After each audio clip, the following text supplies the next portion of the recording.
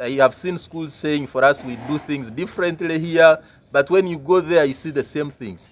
If I'm an appropriate of a school, I say, pay your fees, I take charge of your medical bills for your child.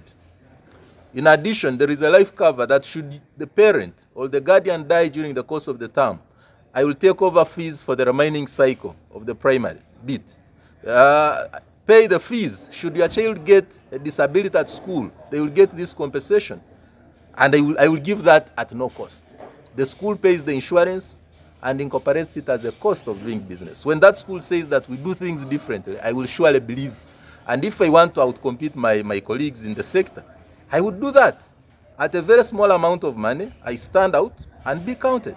I will even get students from the neighboring schools because they will hear that when you go there, there is this and it's real. So, really, we are encouraging people to think about insurance because the costs are insurmountable. We have shared with them experiences based on research, what has happened in this country. I've talked of 95 fires in just one year.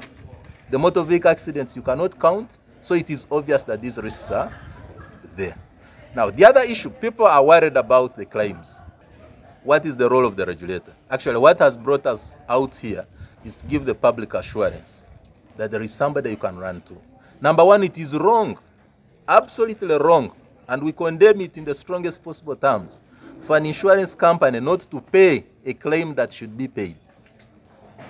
It is also not good for an insurance company to delay because we do not allow that. We have actually issued guidelines showing the number of days an insurance company should take to have a claim paid.